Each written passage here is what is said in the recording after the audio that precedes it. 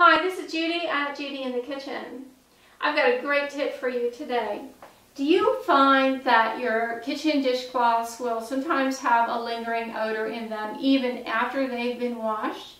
This can happen with any kind of dishcloth, whether it's a commercially made one, microfiber dishcloth, or a crochet cotton dishcloth. Any of them can wind up with a lingering odor even after they've been washed and dried.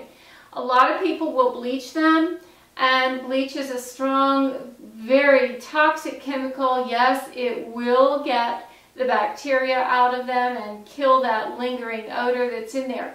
But it will also take color out of your cloth and bleach will actually dissolve cotton over time. Now, obviously you need to use a lot of bleach to completely dissolve a washcloth but even a small amount can weaken the cotton fibers and you don't want to do that in your washcloth.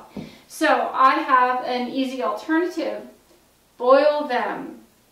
Put them in a pot of water, bring it to a boil on the stove, let it boil for a minute or two, turn the heat off, let it sit on the stove for maybe five, ten minutes, whatever. And then when it's a little bit cooler, drain them Run some cold water on there and cool them down until you can handle them. Wring them out the best you can, maybe uh, blot them dry in a clean dry towel. Throw them in the dryer and when they come out they will be smelling nice and fresh and good as snow.